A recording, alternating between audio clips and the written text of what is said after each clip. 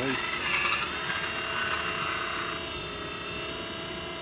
아, 거미. 씨. 아, 여기 앉아서 찍을게요. 아, 이 거미 앞에 내려오네.